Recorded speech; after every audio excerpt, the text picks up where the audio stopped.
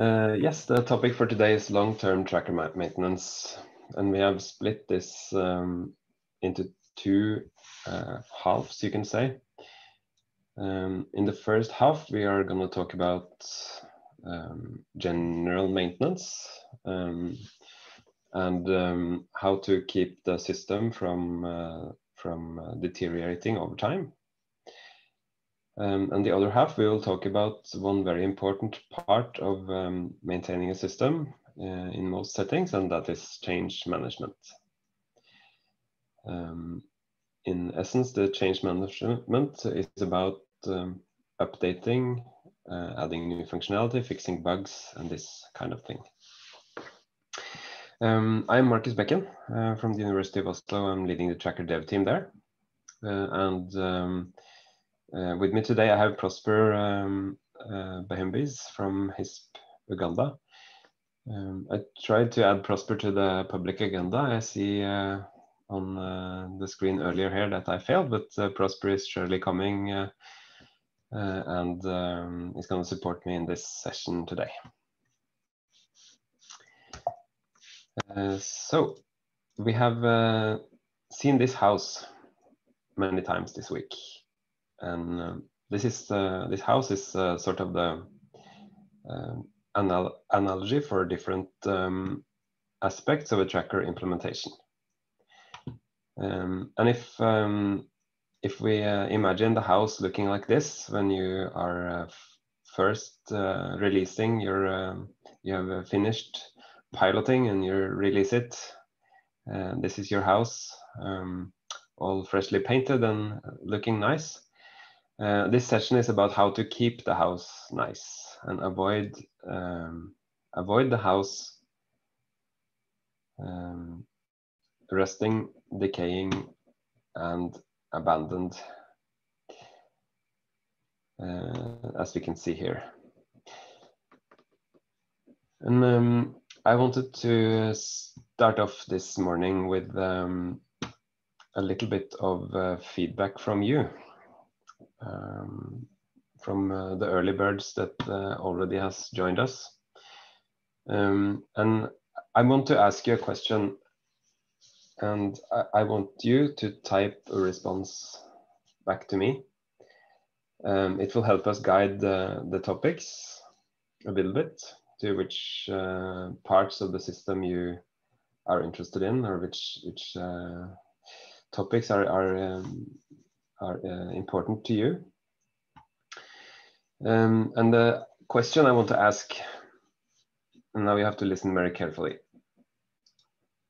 is what types of challenges do you think will arise over time? Or what types of challenges do you know will arise over time in the tracker implementation? So what is the what is the problems that does not show up the first week, but maybe after a month or after a year um, and uh, uh, what what types of problems do you think about when I ask that question? And I'm gonna share a different screen now for a second. Um, let's see.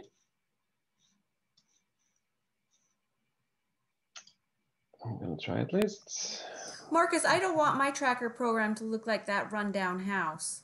No. Tell us how not to do that let's try to manage that. The, but the first thing I have to manage is to, there, okay, stop share. There, I found the button. And now you should be able to see um, a Menti screen.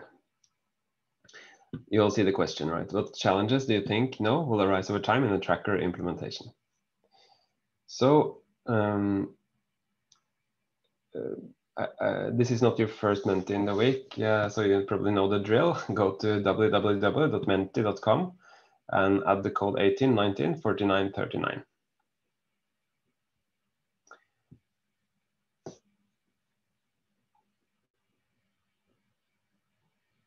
And then you will be able to ans answer this question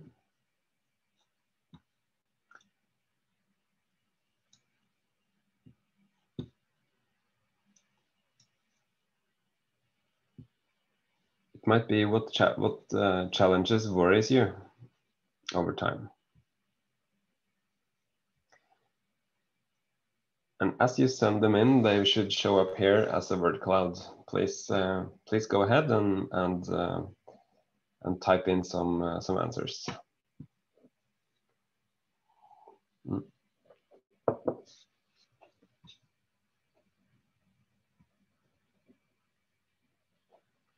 First ones are in. Thanks.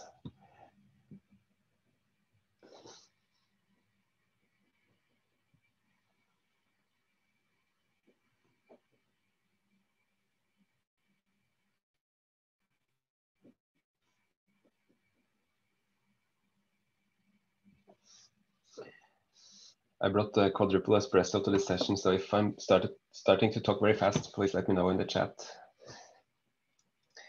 Um, yeah, by the way, a practical thing um, in the um, in the sessions, please type in your questions uh, as they occur to you. Um, I will try to monitor those questions coming in as we go in the session here. Um, it's um, uh, I also plan to take a break twice in the um, in, during the during the session and, and answer a few questions live. Um, and the ones we don't get to live, we will get to later. So please just post them as they occur to you in the questions channel.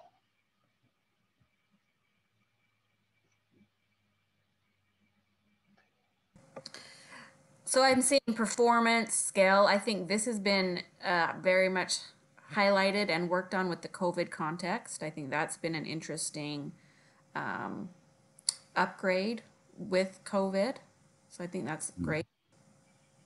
Performance is uh, seems to be one of the main uh, main uh, uh challenges, and we will get li a little bit into that. And performance and scale comes a little bit together, because um, when you scale up, there is some part of the system that might become less performant over time. So we'll both get a little bit into how to uh, uh, design so that we avoid it as much as we can, and also a little bit about how to manage performance of the system over time. And I see people have been listening. There's uh, considerations on privacy and security. We've talked about that.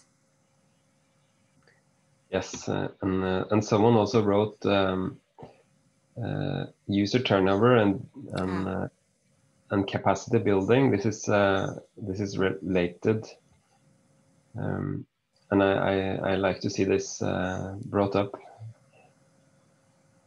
Yeah, I think this is that's a highlight of this um, this session is the fact that we have technology, but that's only one part of the problem and the issue. The other part is really the implementation. How do you um, work together as a team? How do you keep it functioning? So. Hmm. I see. I see metadata. I see new uh, requirements. Um,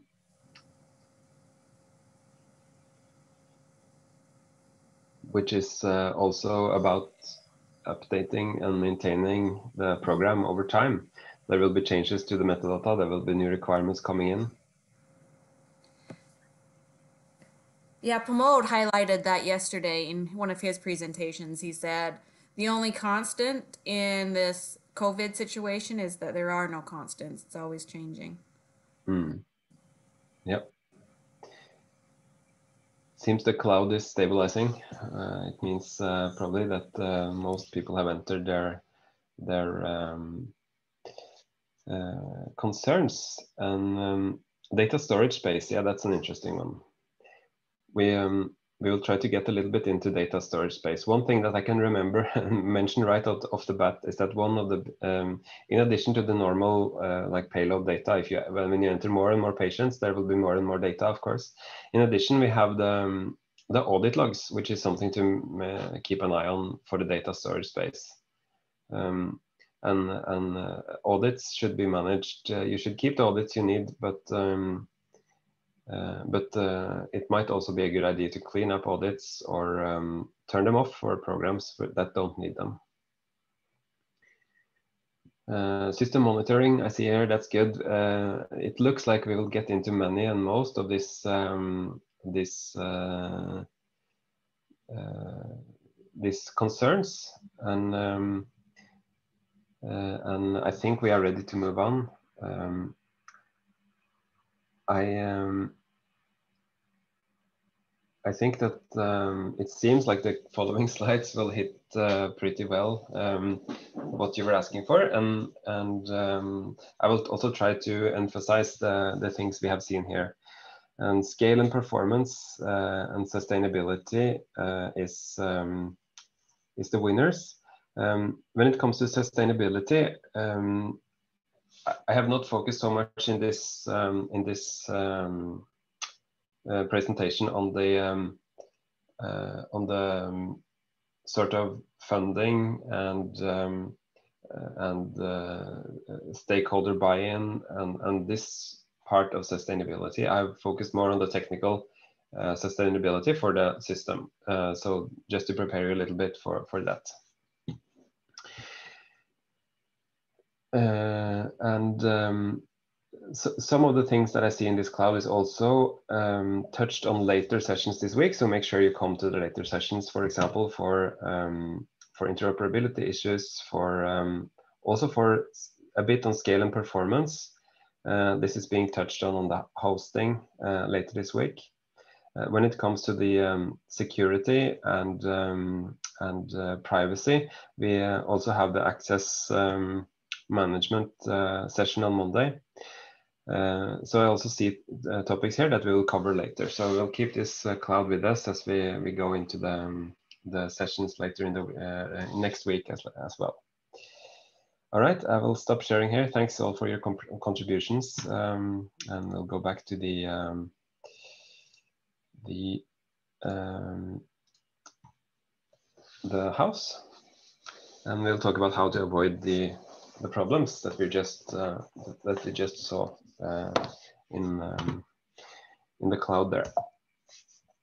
Um, so some common challenges, and um, uh, this is um, uh, mostly cross-cutting the ones we had in the word cloud already. Uh, the software might be out of date, um, and by this we mean that um, when you install it, it's new and everything is up to date. But uh, as time passes, the operating system, Tomcat, Postgres, Java, will uh, become old, and the, there will be fixes um, on security. There will be uh, improvements in performance um, in this software, and it's important to have some routine for updating it.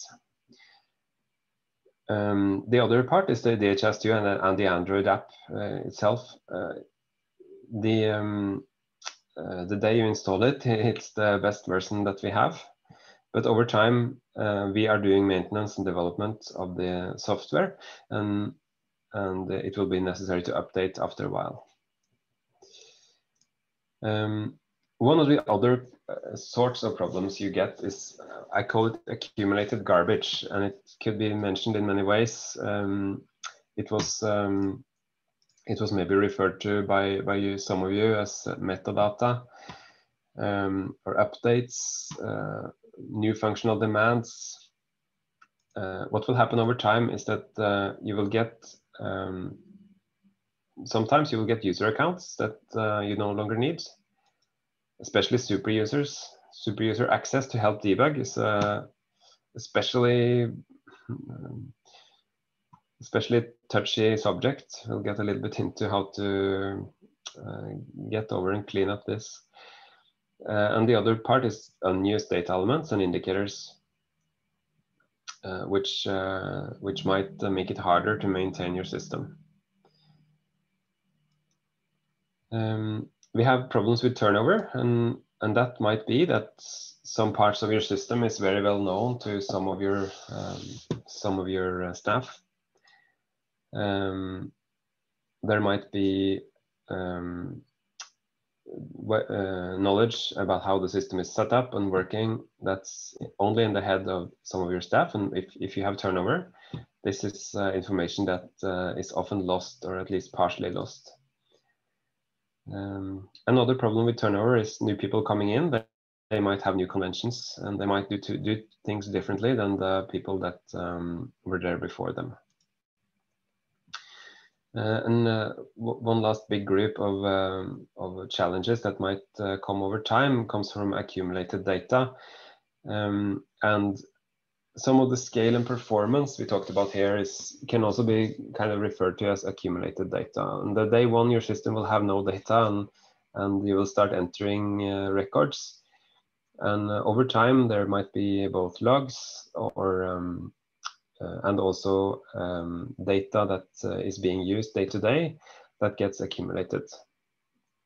And uh, this might affect your system in different ways. So um, to pick up the first uh, the first point of the software out of date, um, I'm um, uh, I'm mentioning operating system, Tomcat, Postgres, and Java first here because um, this is uh, maybe the ones easiest to forget. Um, and and um, to be able to have an upgrade plan for this, they, they are invisible. Uh, unless there is a problem you never think of this and and um, you as a manager need to make sure that uh, that you have a routine for checking or thinking about this from time to time um, there might also be parts of this that has automatic updates like your operating system but um, um, th there should be a routine to go and look at the versions of everything and have a plan for upgrading from time to time. Um, on the DHIS2 software and Android app, um, we um, we know that um, that uh, main releases are um, are uh, released uh, every uh, six months approximately. Um, and these main releases are uh, bundles of new functionality and fixes, and um, and they are a bigger operation if you want to upgrade the main release. But um, I want to put uh, special emphasis on the point releases every six weeks. I often see systems when we go into help or when we when we are supporting someone, we very often see systems that is that is um, uh, on older versions, uh, point release versions. So if you're running 235 uh, and um, you you um, uh, were running 235.3 um, in the beginning of the week because 235.3 was the newest version we had. Um, it should be something to think about when we release 235.4, which we did uh, two days ago. Um, as you see here on the side, um, the uh, the uh, 35.4 was released on the 25th of May. Uh, you can read about uh, the fixes and updates that was in 235.4. Um, and you should really consider upgrading um, on these uh, point releases. Maybe not every point release, but you should you should think about um, uh, you should have a clear plan for how often you upgrade. upgrade. On your main version, there will be a six-week cycle for point releases, approximately. Uh, which means that the next one is coming out uh, in one and a half month approximately. Um, so uh, on, on the upgrading of this uh, infrastructure, um, uh, Prosper will come back more to testing later, uh, I just wanted to briefly mention that when you upgrade the infrastructure, there's like you should do a small regression test for sure um, to make sure that your system is still uh, responding. Uh, and uh, th that um, uh, upgrading of a, of a point var point version for uh, from 235.3 to 235.4 requires, I would say, a medium regression test. Uh, these point versions are uh, no new features, but uh, there might be fixes. There might even be database schema updates in a point version, and um, and you should do a regression test when you do an up upgrade of the point version. Um, when it comes to the full uh, up, upgrade of a new main version, then that's a different game. Um, you would need a full regression test, you would need a rollback plan, you would need an Android upgrade potentially. Um, in the future, we will also have individual app upgrades um, that might be necessary when we start delivering apps um, when in um, their own um, release cycles. As you know, uh, new versions of the DHS core apps is being delivered on the same six monthly release cycle as the uh, as the DHIS2 main WAR file. Uh, but in the future, this will not be so. The apps will um, be um, uh, compatible with several main versions, and um, upgrading an app will be a separate decision from upgrading the DHIS2 backend WAR file. Uh, so, um, so this will be something to think about uh, in, in the future. Um, to get a little bit into the problem of accumulated garbage um, and um, and um, uh, some of the things that we might call accumulated garbage. One of them is user accounts. Um, we should uh, we should try to make sure we have um, we have uh, um, a roll of routines. So um, uh, roll on routines also, but in, in addition to, to avoid garbage, you need roll off routines. Uh, so when someone quits their job, it's very important to clean up their access. Um, and uh, uh, this should always happen. Uh, but then uh, routinely, you should also check whether these roll of routines is actually working. And I would be very surprised if there is not some users that gets forgotten or somehow not rolled off properly. Um, and there's some tools in the system that you should make sure someone looks at from time to time uh, to make sure that um, that we um, uh, look at people who hasn't logged in for a long time.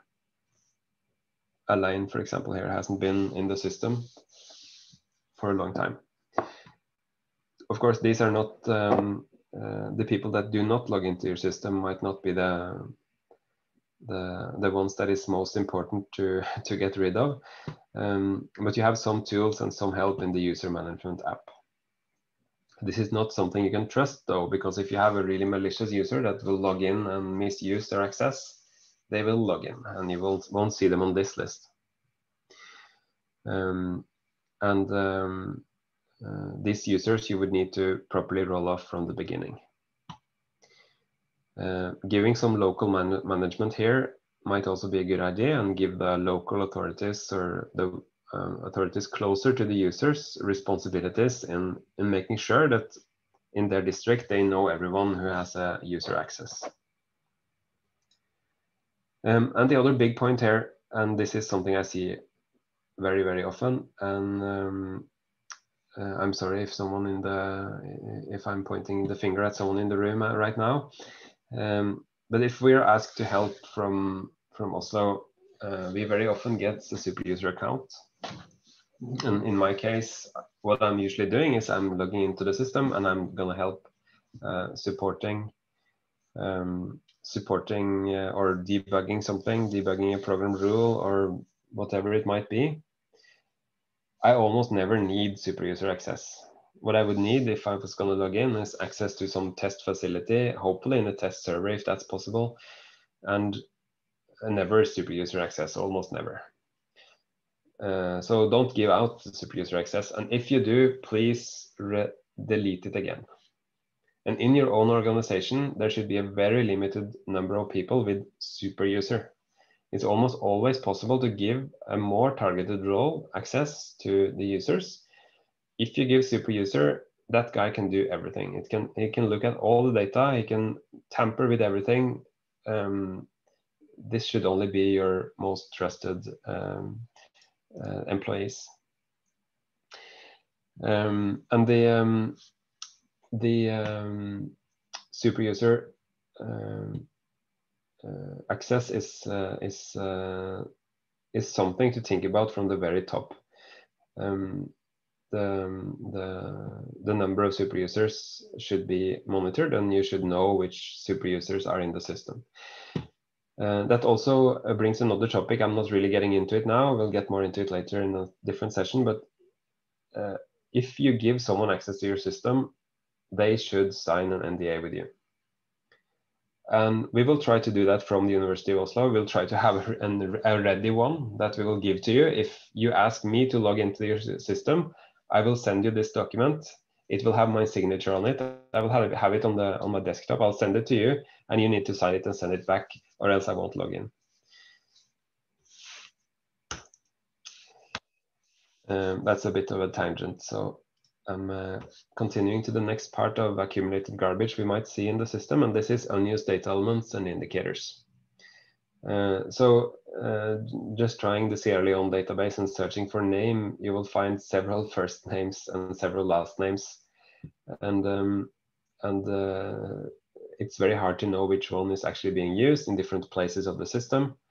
Um, and as you add more programs, as you add more, um, more data, um, and as you make changes, uh, this problem will become bigger and bigger. And uh, it has to be managed. This is very hard to manage though. It has to be managed in many different ways. And one of the ways is that you should routinely um, do a walkthrough of this um, of your metadata and make sure to get rid of the trash. For uh, data elements, for program indicators, for indicators, it's super confusing. If you try to build a dashboard and search for indicators and you find many indicators with very similar names.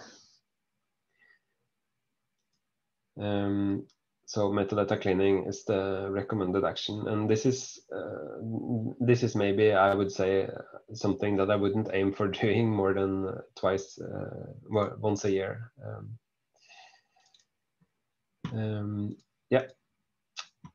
Um, uh, also, if you have uh, if you're getting into changes, um, there might be need for data migration to avoid um, unused data values in your system.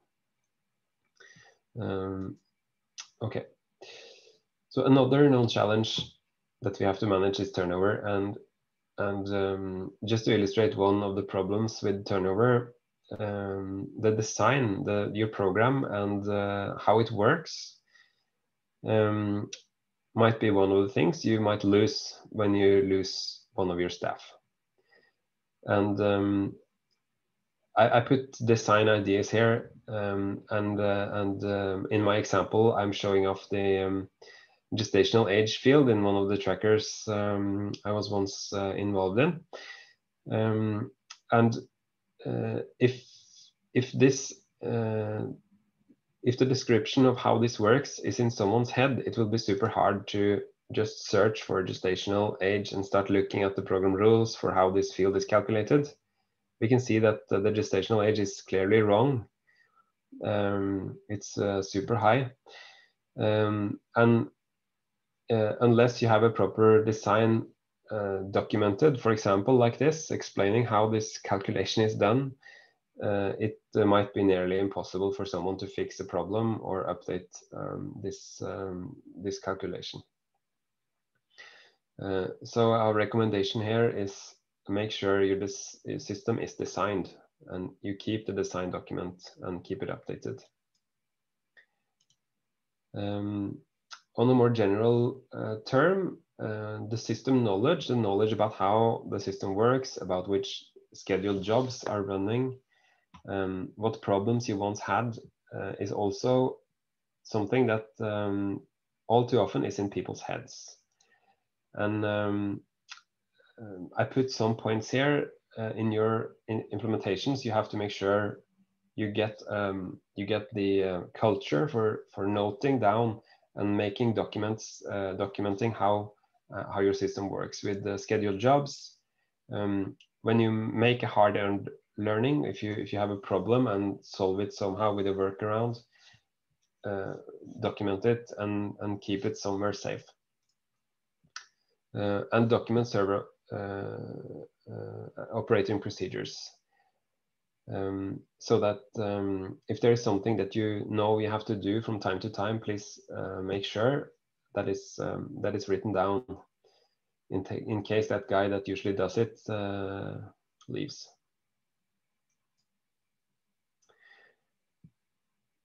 Um, another problem with turnover is, uh, as mentioned in the beginning, convention changes. And convention changes might be look very in innocent. It might be um, the when we looked at the data element uh, earlier, we saw that um, first name was written with a capitalization in one case, and it was not written with a capitalization in another.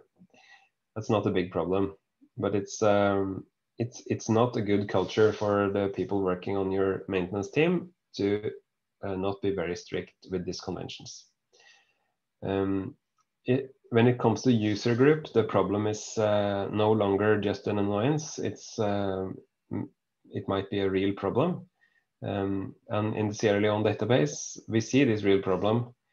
Um, we see the, the um, some of the user groups being made especially for giving access to some data sets. Um, then we have some others that might look like um, uh, family planning program coordinators, for example. What is that? Uh, and um, administrators, Africare HQ.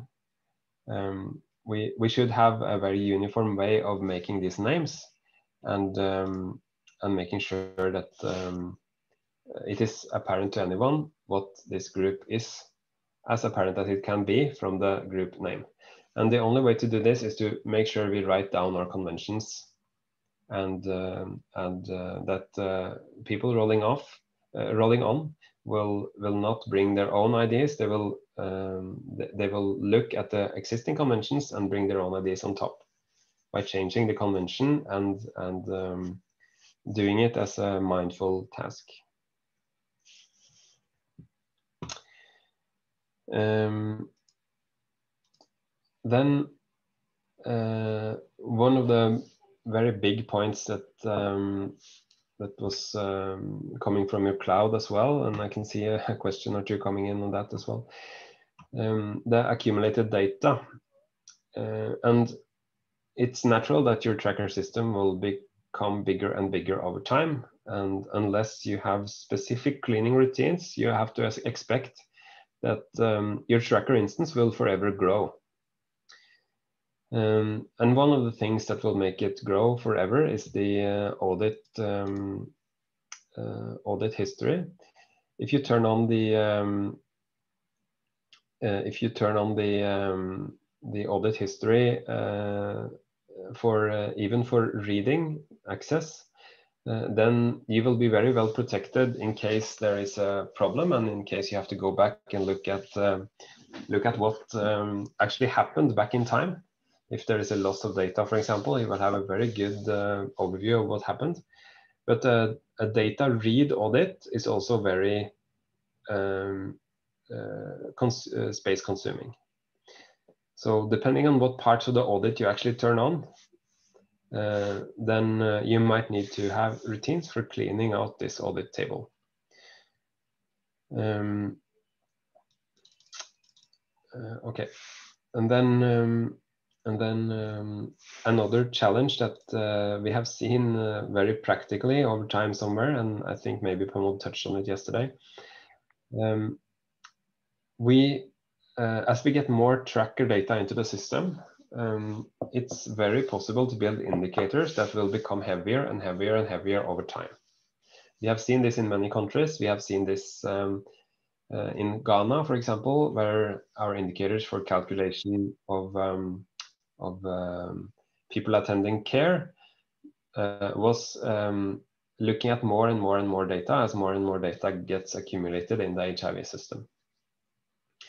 Um, and uh, this is not something that is always avoidable, uh, but it's always something you can manage. And um, one, one way of, um, of managing it is to make sure you don't have a super user that logs in uh, and does a calculation on your entire country um, country um, uh, implementation.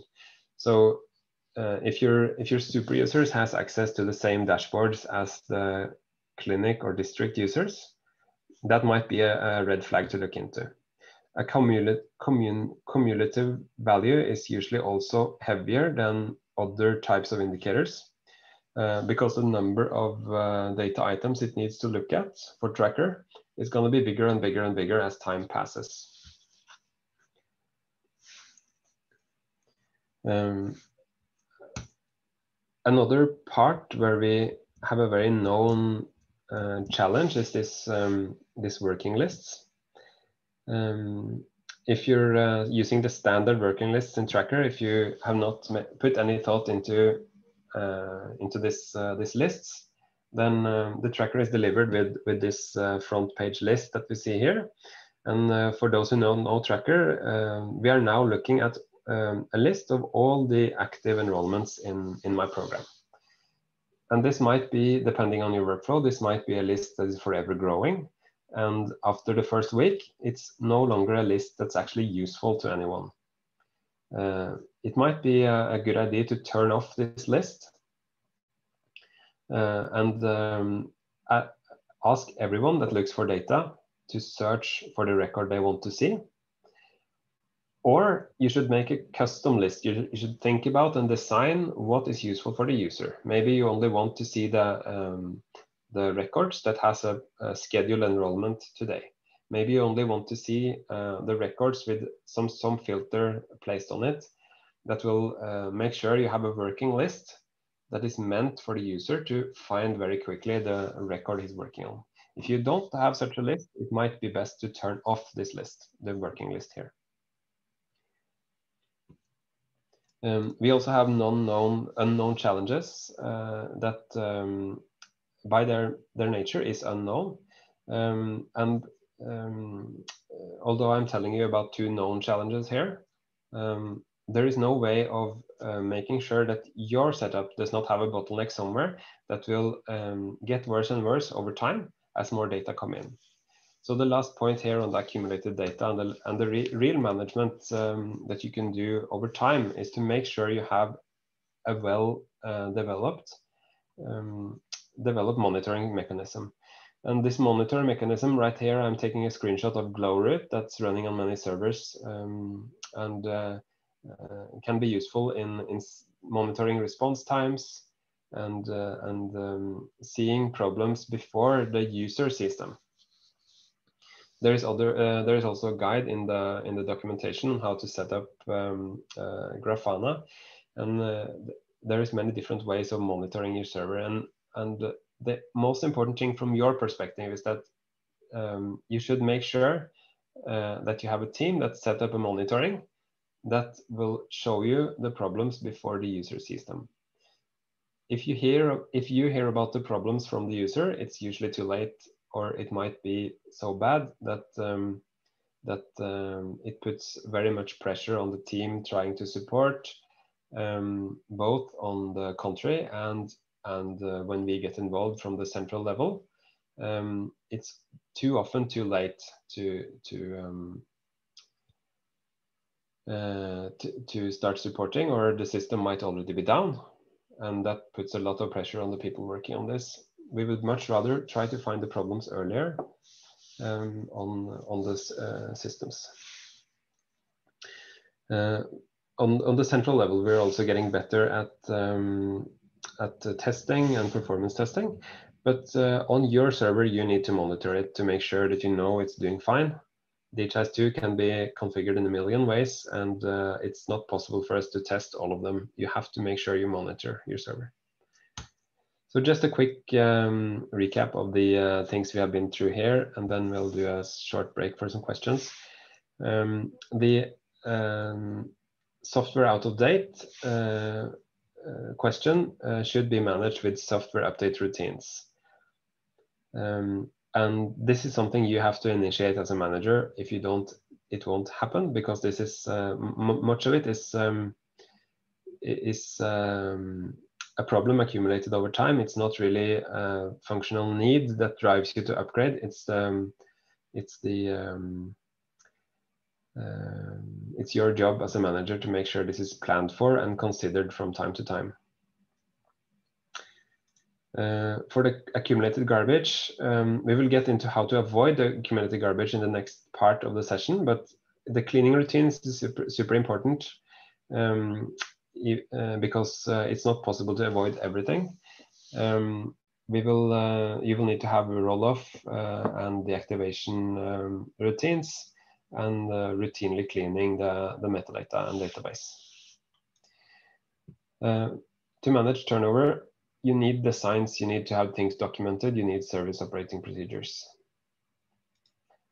And um, when it comes to the accumulated data, there is some design decisions you can make sure to uh, to do to minimize the problem. Um, but uh, in your maintenance process, you need to make sure you have a monitoring step, you have a monitoring routine um, to to look at your server's health and and to raise an alarm on an early stage if there is um, if there is uh, problems uh, coming coming. Okay, so um, the next part of the session is the maintenance and change management process. Um, and uh, before that, uh, there has been some questions in the chat. Um, uh, one of them was, um, uh, what version are you working on for a tracker? And uh, I see that some people are gonna, um, Abdul is gonna start on version 35. Uh, and uh, I would say start with 35 or 36. Um, 36 was uh, recently released, um, but the testing for 36 was better than any previous version. So I wouldn't be very hesitant at starting at 36 either. 35 is fairly new and, and a good version. Uh, one thing to mention on the, the versions of DHIS2 um, is that um, uh, one of the most important things at the moment is to uh, start at either the newest version of 34, the newest version of 35, or the newest version of 36. That would be my main recommendation. And the reason is that all these three versions has recently been upgraded to become, um, uh, in some cases, an order of magnitude faster. Uh, the, the um, earlier point versions uh, within 34, 35, and 36, well, 34 and 35, I mean, the earlier port ver point versions like 34.3 um, was uh, much slower, and we have fixed many bottlenecks the last year, working with many of the implementations around the world. So stay at the latest point version. That's the most important uh, comment I can give. Uh, there was a, a, question on the audit history, and we will, uh, on the hosting session, we'll talk a little bit about the audit uh, config. Uh, so come back there. Um, as a manager, the most important decision is how much audit do you need to turn on? Or do you want to turn something off? Um, the, the question uh, that was raised in the channel was whether you are able to identify which user has entered tracker data, not only modified, but entered it in the first uh, instance. And the uh, is, uh, easy answer, Mohaber, is that that is stored in the database. We don't have a, it's not showing in an elegant way in the user interface. It's stored in the database, so you can get it from there, uh, but it's not showing. Um, this is something being considered for the new capture app that we're working on to have the also the first user uh, visible somewhere so that you can see which user entered it, the data in the first place. That was kind of missed in the last uh, app there. Um, Abdul uh, is asking about saying that one of the main challenges uh, was to update the form and uh, moving data elements, for example, from one stage to another. And we'll get more into the uh, this sort of problem in the next part of the session, so I might uh, save this for later. Uh, and um, Nirmal Dhakal is asking about the largest known tracker implementation to date um, in terms of tracked entities, visits, and so forth.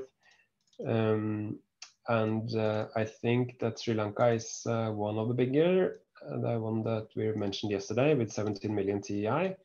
Um, I think in some ways the Bangladesh instance is bigger, but I don't have the numbers right here. Maybe I can get help from some of my colleagues to dig up these numbers and re reply Nirmal in the chat. All right, thanks. So with that, um, I will go into the next uh, part here. And um, this is the development process versus the maintenance process. And um, you know that development is something that uh, well um, that, that, that happens at the beginning right? You you start by designing your system. You make all your data elements. You have a sheet for uh, for your indicators. You build your dashboards. You make everything ready. You test it and you release it. And the first time you do these three steps what you do is usually work without anyone well you might be under time pressure but there um, you would uh, have your development uh, guys working on this. Um, and after testing and after you're happy with it you will release it. And the way you release it is that you open it for the public for the first time. And then after you have started your instance for the first time then the process of maintenance starts. And uh, i'm going to talk about development in the maintenance process during the maintenance, you have to maybe make a change, like um, like uh, Nirmal is asking. Uh, after the users have started using the system, you will need to add the field, you will need to add a new program or change something, as Nirmal was saying, as moving one data element from one stage to another. Uh, this is also something you need to develop, test, and release. And then um, maybe just after you finish developing the first thing and when you started testing it, there's something else that you need to start to develop, test and release. And uh, this part of the process is what I would call the change management and maintenance process. Um, and this can be new functionality, like we mentioned, uh, new stages, new indicators. It can be bug fixes. Maybe your COVID uh, surveillance guidelines changed. Um, change is the only constant. Uh, um, Pamod told us yesterday, and that is so true. For COVID, um, it has been uh, a nightmare supporting somewhere, uh, some places, because the uh, surveillance guidelines changed as we learned about the virus. Um, yeah. Um, when you do these kind of changes, this is a point for later, but you have to think about retraining. Like, are we need, do we actually need to retrain now after after these changes? And for COVID, this has been very, uh, very, very relevant. Uh, maybe there's training materials we need to upgrade. Maybe there is data migration. Uh, in the case of Nirmal, that was uh, one of the problems. You need to move some data from one stage to another. You can't just move the data element. You have to move the data as well. Oh, this is uh, this is uh, something you've all been waiting for, the, the word of the day. So make a note of this. Android tracker is the word of the day. You all got it? Uh, and with that, I will um, hand the word to Prosper to talk a little bit about testing. Uh, as you note down your word of the day, Prosper will unmute. Hello, Prosper. Hi, Markus. I'm there.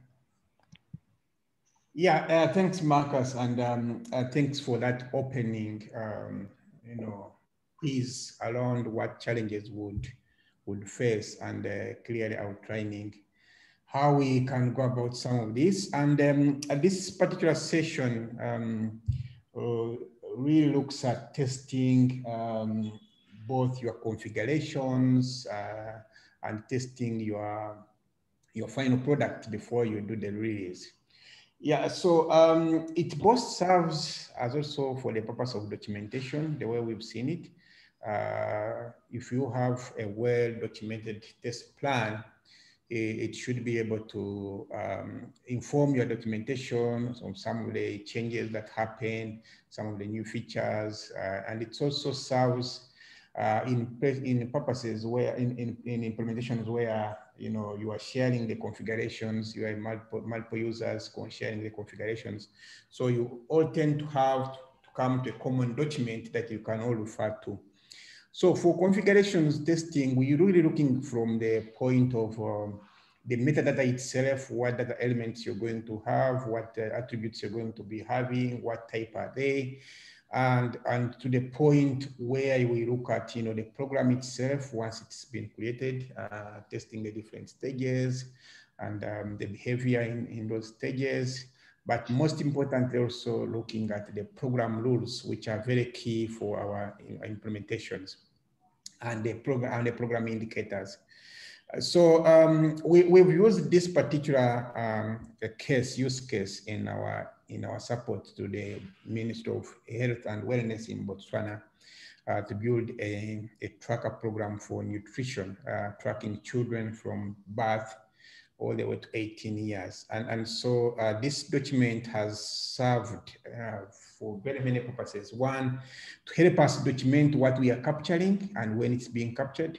Second, to be able to use this document for training, uh, because when we talk about sustainability, as Markus was, was, was sharing, um, you need to have a document that people can keep referring to for how the program is documented.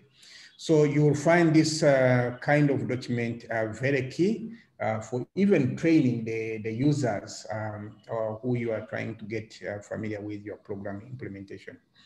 So um, it's a pretty, you can add in more columns, you can add in more, in more, more information that you need to capture, but pretty what will be more important is to have a, you know, a documentation of all your, of the, of the implementation. And, and for this, we're looking to see that you can be able to do, to document your attributes, your, your, your stages and, um, and, and, and, and the program rules and indicators in that. So we do see that if you could come up with a document that clearly specify the data element or attribute, what type it is, any special um, attribution to that particular attribute or that element in terms of what we call others. You can see like, for example, for age, we are auto-calculating it or auto-filling. And, and so somebody who will come in future to look at your documentation and, and your program will know that the age is auto-calculated. Auto, auto uh, we look at the logical considerations. These are the skip logics that you, most of you will have in your tools or the logic patterns uh, for your for program flow. You need to document them properly. And, um, and, and so somebody who is using this document and testing your configurations is able to know what exactly you're doing, trying to achieve. Uh, we also uh, could look at uh, program rule documentation. Uh, and this is basically spelling out what a, a, a, given program rule at a particular attribute or other element is supposed to do. And a little bit put that logic and uh, also have a variable, the program variable, because you know program rules uh, use variables, program variables. So you can also specify these program variables again to help you document your work uh, your, your implementation uh, so that if I'm looking for a, a, given program rules and I'm going to change it, I can look at this reference document and be able to, uh, to go to that program rule and I see how it's configured. But most importantly, this document will be used by your team to test the configuration. So we have a status here. Uh, some of you can even add a column that can, you know, uh, exactly describe what the what the test uh, outcome has been. And then uh, status here was whether the team has come back and is able to, to review and, and clear that uh, issue. So for, for this particular, we're using comments. It's a Google Doc sheet that we're using comments, but you can have a, another column that can specify a person who tested um, what they were able to do. So, uh, and you can have color codings that we have down there uh, to to quickly in, um, communicate what is happening on each of these of, of, these tests. So some of them you'll see that we have discussed it and it's uh, it's put in the system and penning testing. Some could be that you have, yeah, the team you have discussed and hasn't been added in the system. Some you may need more clarification from the program implementers. These are the non-tech people who will tell you how the, the, the program rule should behave or what how data needs to be collected. Uh, and, and uh, during the testing, of course, you also find some areas where you need to delete some of these things and you can highlight them red. So this is a living document that can be used over time and um, both documents, your testing and your configuration. Uh, example down here is having a team in the Ministry of Health and Wellness in, in Botswana trying to do some testing and give feedback on this, on this kind of document. And it has been used for training as I shared. Next.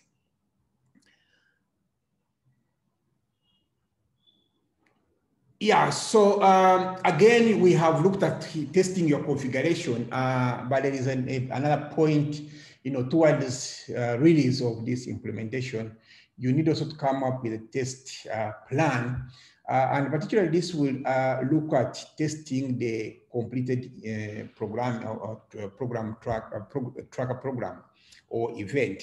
and at this point, you, you, your probably moving from the developers or the, the implementers, the DHIS2 implementers to the end users. And um, it's always good to use people who are who probably don't have um, a lot of knowledge about the you know the program rules and all that. And, and so in your test, in your end user test manual or test plan, you, you need to clearly explain the functionality of uh, what, uh, what, what's supposed to be tested and then uh, give them expectations. And once uh, the expectations are not met, then you allow them to be able to document that. So uh, this is one of the manuals that we developed for, again, testing uh, a tracker program for school learning in education in Eswatini, the Kingdom of Eswatini. Uh, and you see clearly you have stated the objectives of what is being tested, the requirements for the testing. Uh, if you go over the test number six, uh, you have to describe what they should test, uh, what is required, and then the steps they have to take to be able to uh, test that particular functionality. And again, you can give them the expected results that so that if they don't get the results, then they are able to document that, you know, we are not able to arrive at this, uh, we are not able to arrive at these results. And, and so that helps you again to refine your configurations or to look at, you know, whether it's user settings, users, you know, roles and all that. And so down in the corner here, you have a test results and, re and resolution where you allow the users to be able to, for each test to go over it and then um, document the issue that they have uh, faced and then um, they could do, do recommend what can be done, uh, but also as you as, a, as an implementer, you can also do your recommendations and then you have the action. And this again helps you to be able to monitor what has been resolved and whether you are meeting all the requirements. So this test plan can always be um, uh, drawn from the requirements for the system. So if you have the requirements and you have this requirement, then it has to be tested and then you see the output. And if it's not met, then you can be able to go back and see how to resolve it. So you can also have these documents, these are what documents on Google Docs to share so that you can be able to all be able to work together. Since in most of the implementation, we found ourselves working as a team. So you need a, centralized uh, testing plan and you know the for both the end user and also for configurations. And next and last. So again, um, the tracker implementations, uh, we, we, we tend to also look at the, the implementation itself in terms of the devices to be used. And, and so it's very important, uh, even before the release or deployment, to test uh, the gadgets that you are going to use. Uh, in most cases, particularly for COVID, where we have used the tracker so much, uh, we've tried to rely on the on the tablets as a mode of data capture, uh, some as uh, laptops and uh, you know desktops.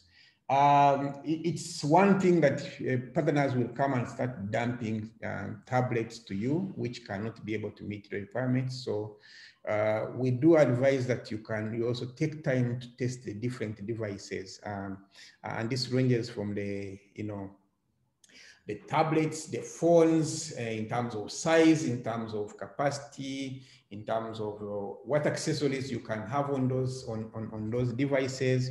Uh, particularly for Botswana, as you can see in the corner, we had an opportunity to test different phones from right, the five or two or four inch screen phones to the to the tablet, seven, 10, to the to the Chromebook. As you can see, the gentleman there trying to test out Chromebook um, uh, data entry in a, in a clinic. And uh, for the tablets and phones, we tried to put like, you know, keyboards to see if that works very well and tested it with, with the different health workers. And for this particular one, it's really important that you use the the end users and take it to the environment of the clinic. Don't just test from your, your you know, town office and think it's going to work. It would be good to go out in the field where you have no connectivity, where you have no space, and, uh, and uh, with so many people, uh, so many clients you are serving, and also test its performance. So uh, take time to, to do tests of the different devices so that you can be able to recommend the appropriate devices to, to use in your implementation.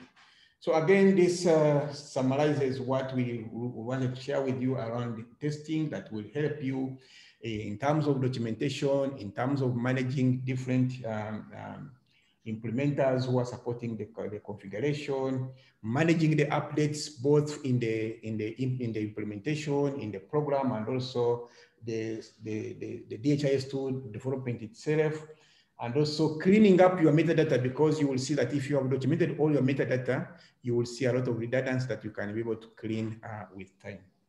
Uh, thank you very much, and um, I think I'll turn it back to Markus. Thanks a lot, Prosper. Uh, there was a question in the um, chat while you were uh, presenting uh, whether there would be test plans available for the generic packages, and we will get back to that, uh, Nirmal. Uh, but maybe um, we can ask whether the documents that you just shared is um, is whether it's possible to make them available for um, as a sort of a reference on how to do it.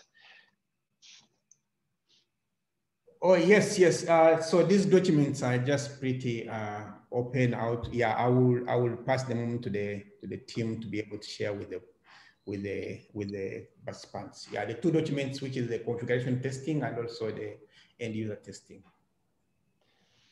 then we might put them on the. I'm, I'm sure there's a place we could we could put them together with presentation or something that uh, would make it available for the uh, for the um, audience. Um, at a later stage. Okay, thanks, uh, thanks, Prosper. Um, so after the the change has been developed and uh, and um, and uh, tested, uh, then you need to release it. And um, something to some things to think about uh, with extra emphasis when you are doing releases on an already existing, already running system is that the user training is so easy to forget. Um, and um, they the users know how to use the the system and when you change it they uh, this change might be so small you don't need to uh, retrain. Um, you might just need to update the reference material a little bit. Um, but for bigger changes you definitely need to have a new training. You need to think about the uh, the, the, retraining and this needs to be done before you even uh, start to think about releasing this to the users if it suddenly shows up in the in the user interface and the people don't know how to interact with it, you will get um, confused users and bad data in. Um, and then also communication up front is, is something that is so easy to forget when we sit and forget and and uh, develop. And uh, these are kind of horizon questions that you need to think about as a manager. This is your job to think ahead and think about everything that the developers aren't thinking about when they're developing the change for you.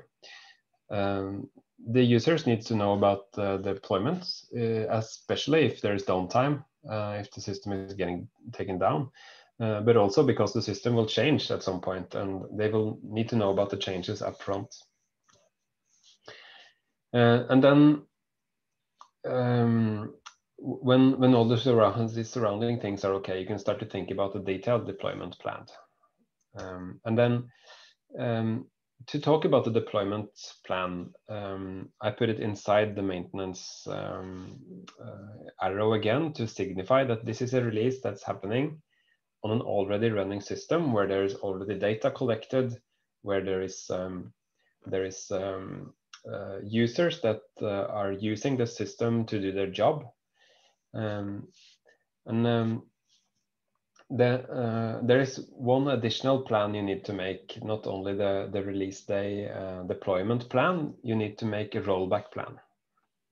And the rollback plan will help you in case something goes wrong during the deployment. And this is, uh, I put extra emphasis on this because it's so easy to forget and this is also something that um, that um, all the solution-oriented uh, technical people on your team will probably not think about until it's too late. And this is your job as a manager to make sure that the rollback plan is there uh, and it's being developed together with the release plan. This is your job. If you call yourself, uh, well, if you are the manager of this, um, then this is your job. I'll give a, a free um, uh, a free basic release deployment plan here. Um, the the very basic plan can be close the production environment for all end users, block the IPs, make sure no one gets into the system, then back up the database, and then follow any detailed steps. This can, for example, be updating metadata. It can be updating the DHIS code, WAR file. It can be database data migration, for example, if uh, you're moving one uh, data element from one program stage to another, you probably also need to move all the data. So you need to run a script at this time to move the data. Uh, then um, verify changes, then this is the next step. And, and this is crucially uh, done before you reopen. And you'll see why in a second. Uh, ver verify changes is something you do um, after everything is updated and before you let in your users. And, uh, and um, in, in the production environment, uh, it's best that this is not a very big test. This is a, probably a very small test, just making sure that that uh, the um, the changes that you already tested somewhere else is okay. So as part of your release process, you do a verification step while the system is down. And then you reopen it uh, in the very end. Um, and the reason to do uh, strictly block out your users during steps two, three, and four here is that this will allow you a very basic rollback plan. You can restore the old database um, that you uh, backed up in point two above.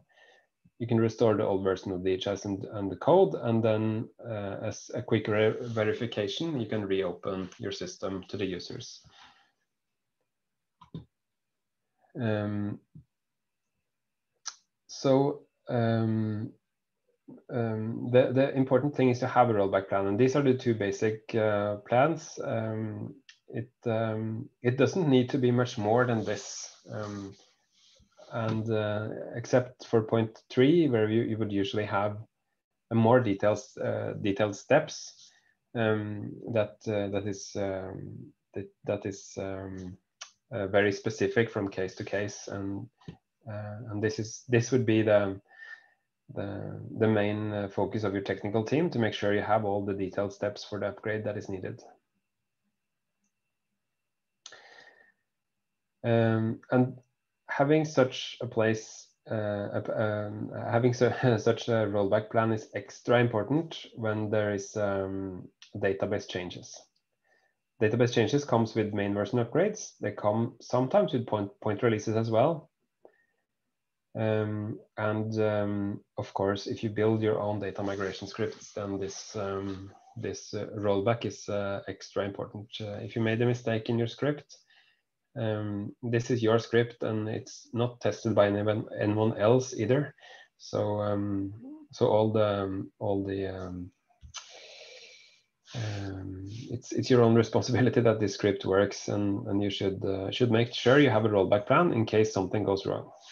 In case your script del deletes all the data values in the database or moves all the data values in the database from one into one stage and breaks everything. Um, just to re-emphasize, the reason why you want to block your users out while doing the upgrade is that um, in your in your rollback plan, we are restoring an old version of the database that was um, backed up earlier. And if you restore an old version of the database, and also there was user users adding to the database um, while you were working, then those users will lose their data. So that is why it's important to block the users while you, if you plan for downtime. Uh, if you if you have communicated the downtime uh, um, upfront, uh, that's usually never a problem to have the system down for a while. Um, I'm going to show you uh, at the end there, I'm going to show you an example process that we followed in another uh, project. Um, the, this, um, this project was set up with three, uh, three servers that we were using in this um, I will use in this example, um, all development. Uh, so after the first uh, time, um, the, the first time we, we developed uh, everything, we did it on the production server. Oops. Uh, and um, when we tested on the production server and we we uh, released uh, onto the production server. But when the production is running, we are now in maintenance mode. And, and um, when working on, on uh, changes, we would not make them in production. We would work in the development server to the left here. Um, and all program updates, data elements, if you move your uh, data element from one stage to another, that was first done on the development server. Um, and then um, it was tested, it was, uh, it was uh, system tested in that development server. And when we were happy with the changes, we exported the metadata. Um, in this case, uh, it was a simple setup. So we exported all the metadata uh, and uh, imported the, the, metadata, except users, and imported this metadata in the test environment to the right here. And then this import was done on a on a on a environment that was um, otherwise uh, the same as production. So it had the same metadata as production, and we could test that the metadata import works. And also in this environment, we could spend some more time testing that our changes were okay. Um, so when there was a metadata update and we came to the day of the release, that was the day we put, we put it into production. And then uh, the detailed um, release to production would be mostly to import the same metadata file that we took into test into production. Um, and, and this is the way, um, uh, th this is sort of a minimum picture of what we recommend when you're working on a, on a, on a tracker implementation that, um, that uh, is uh, already, uh, uh, already running and in maintenance mode. If you're making a change, then you would need some sort of setup like this to be able to develop in a different place um, as you know, when you develop, you will make mistakes and uh, some big mistakes and some small mistakes. And you will test and you will fix and you will make sure that the, the change is okay before you take it to other uh, environments. Um, we had a very similar process for, um, for updating the code of DHIS. Uh, we would uh, deploy first uh, into the development environment and test the new WAR file there and look at how it uh, affected the uh, database and test um, existing data that they were fine and, and look at new functionality if it was new functionality there. And then we would deploy that same file to test and when we were ready also to production.